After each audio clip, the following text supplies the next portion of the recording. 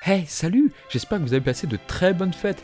Bonne année 2024. J'espère qu'elle vous apportera beaucoup. Petit message pour vous indiquer que le 24 janvier arrivera le projet Kickstarter de Ignori Music. J'avais déjà parlé sur la chaîne de ce projet qui me tient à cœur et pour cause, le projet propose des partitions jamais utilisées sur Sanseiya par le très regretté Seiji Yokoyama, un directeur cut musical.